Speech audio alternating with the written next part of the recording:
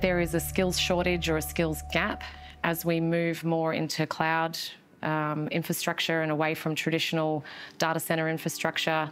The skill sets have to, to move rapidly as well to transition and to keep up. So I think that a lot of organisations are struggling to find teams that are the right size, the right fit, and the right skill sets to help them keep ahead of today's modern threats. I think we need to be really, really focused on the skills um, that we're developing uh, locally um, and that we have within our society.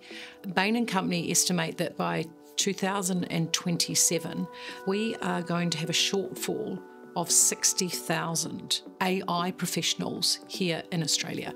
We need to think about the investments that we need to make, perhaps government driven as well as privately driven, in order to continue to build these skills. Um, it can be as simple as knowledge, awareness. You know, it's a big factor in taking away the fear factor of AI. Other countries are already putting that into place. We're seeing the changes in curriculums in other countries where they're educating in primary schools. So we need to shift in order to ensure that we are, as a nation, ready for what's coming. I'm a bit of an optimist. I see this as a way to make people more effective in their roles, but I think it is also true that we will see displacement of many roles. And I also think that we are never going to have enough electricians and electrical engineers and the people who make a lot of these systems operate. So there are, going to be a lot of opportunities in the future as it is going to be quite an adaptation to people for people to shift from how they work currently to an AI assisted version of what they do in the workplace.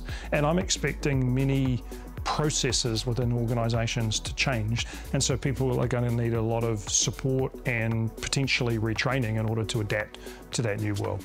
And those skills aren't necessarily about learning how to do data science or coding.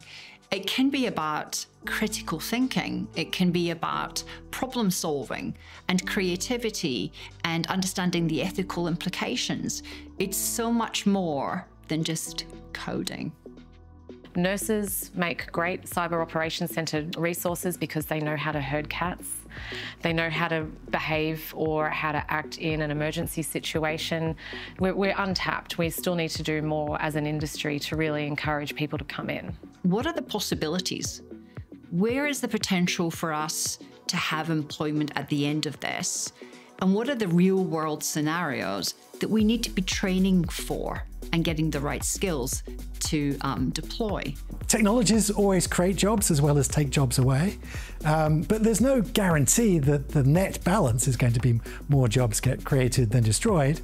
I'm optimistic that it will be. It, it's certainly a challenging transformation because at the very least people will need to be reskilled for those new jobs and we have to work out well what are those new skills AIIA has um, a number of initiatives around future workforce needs.